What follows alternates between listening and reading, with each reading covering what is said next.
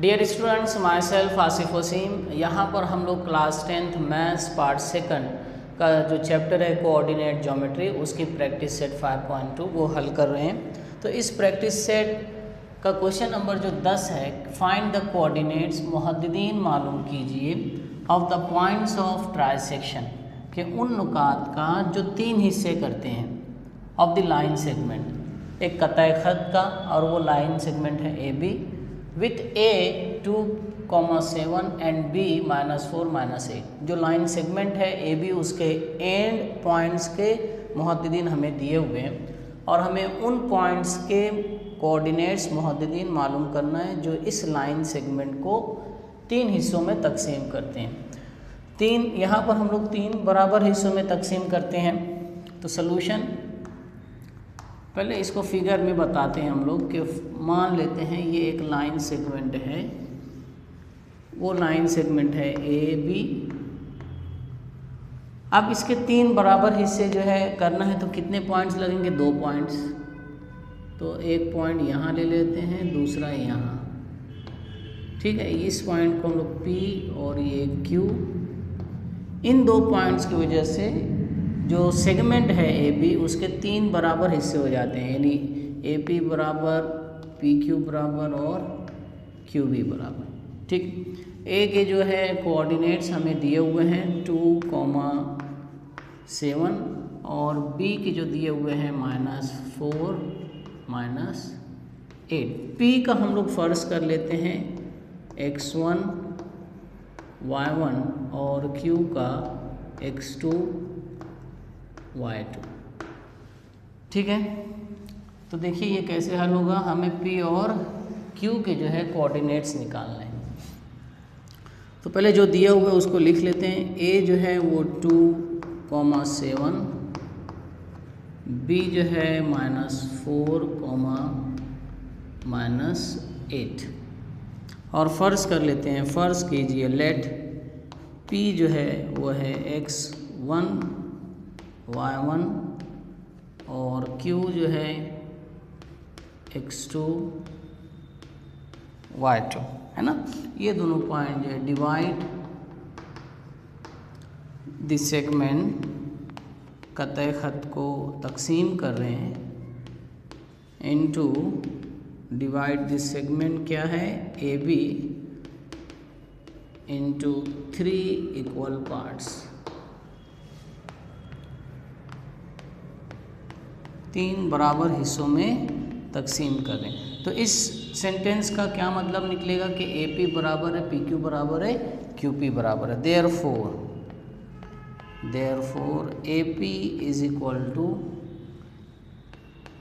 P Q is equal to Q B ये हमें लगेगा, इसको हम लोग देते हैं नंबर एक। अब देखिए हम लोग जो हिस्से का जो जबता है सेक्शन फॉर्मूला उससे हम लोग जो है P के कोऑर्डिनेट निकालेंगे P के मुहद्दीन अब P की वजह से दो हिस्से हो रहे हैं, ए पी और पी बी। अगर मुझे ये रेशो नस्बत पता चल जाए, A P upon P B, यानी एम नस्बत एन तो मैं सेक्शन फॉर्मूला लगा के P के मुहद्दीन मालूम कर सकता हूँ। जैसे वहाँ पर आपको दिखा हुआ है ना, कि यहाँ अगर ए और बी एंड पॉइंट्स हैं सेगमेंट ए बी के, और सी उनको डिवाइड कर रहे हैं। किस नस्बत में? एम को एन की नस्बत में।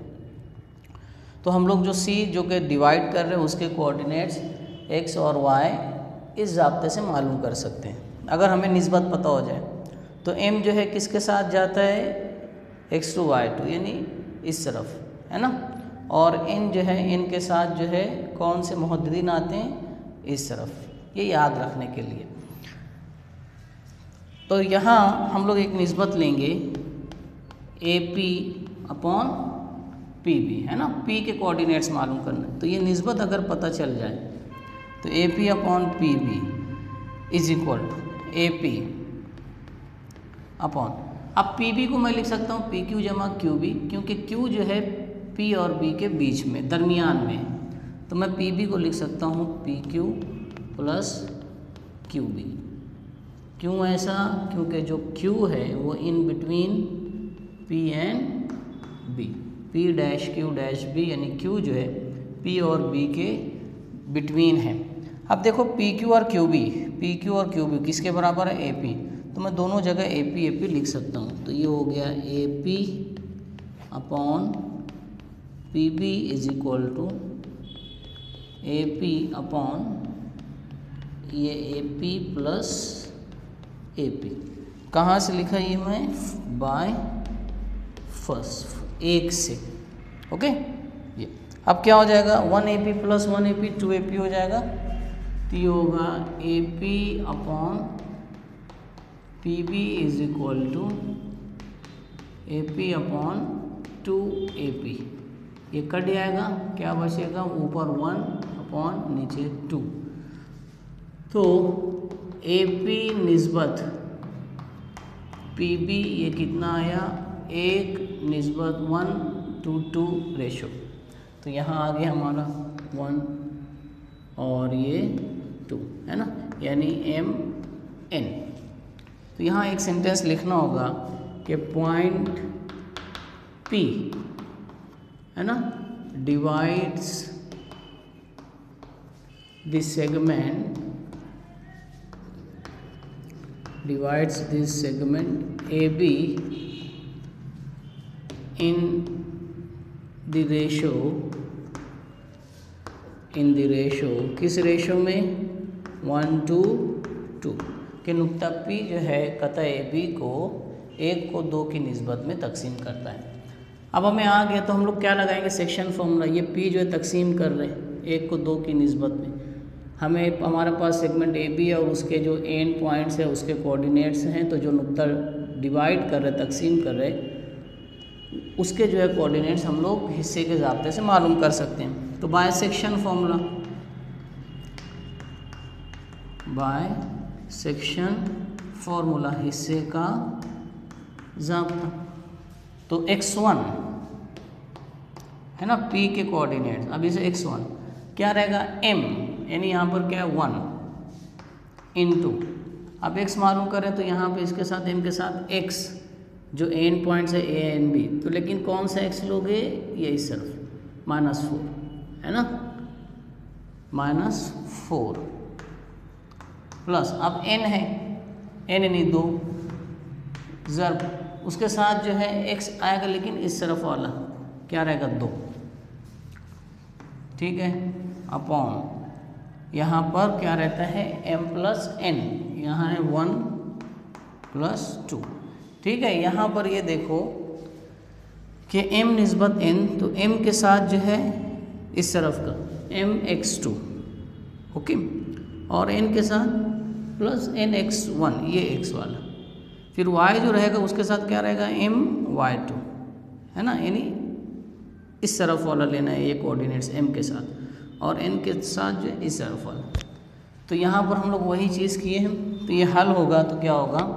X one is equal to ये minus four plus two two ज़ा four one plus two three is equal to minus plus minus होना है four minus four zero upon three तो क्या आ जाएगा? X one is equal to zero क्योंकि अगर हम लोग तीन का टाइम टेबल लिखेंगे तो ज़ीरो से भी लिख सकते हैं। थ्री ज़ीरो ज़ा ज़ीरो थ्री वन ज़ा थ्री तो ज़ीरो जो है, किस प्लेस पर आता है? ज़ीरो तो थ्री वन ज़ा थ्री थ्री ज़ीरो ज़ा ज़ीरो तो X is equal to X one is equal to zero अब क्या मालूम करना है? वाई वन तो हम लोग वाई वन इधर निकालते हैं।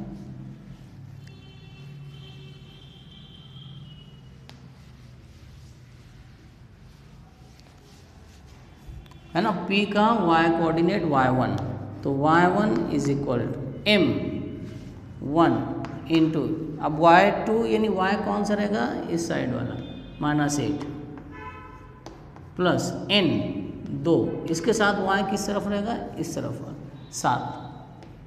है ना? तो upon m plus n one plus two three हो जाएगा। तो y1 one is equal to minus eight plus fourteen upon three. क्या हो जाएगा? माइनस प्लस माइनस होना है। चौदह में से आठ गए छः और पॉजिटिव रहेगा क्योंकि फोर्टीन बड़ा है और वो पॉजिटिव है थ्री। तो थ्री वन ज़ा थ्री थ्री टू ज़ा six is equal to two upon one यानी टू। तो y one is equal to two. तो p के कोऑर्डिनेट्स मेरे पास आ गए। There four there four P क्या आ गया? X one zero comma two यहाँ लिखना रहेगा the coordinates coordinates of point P is zero comma two तो यहाँ पर आया है ज़ीरो कोमा टू अब Q का मालूम करने के लिए हमें हिस्से का जबता नहीं लगाना पड़ेगा। अगर नुकता Q को देखोगे तो ये Q जो है A B sorry P B का मिड पॉइंट है। ये जो सेगमेंट है पी बी देखिए क्यू की वजह से पी बी के दो हिस्से हो गए पी क्यू और क्यू बी और दोनों बराबर है। यानी क्यू जो है वस्सी नुकता है। और हमें जो है, जो सेगमेंट है पी बी उसके जो एंड पॉइंट्स हैं पी और बी उसके कोऑर्डिनेट्स पता है। तो वस्ती नुक्ते के जबते से हम लोग जो है क्यू के निकाल सकते हैं एक्स टू और वाई टू तो यहाँ हम लोग लिखेंगे,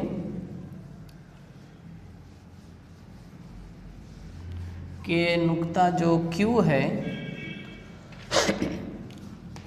point Q is point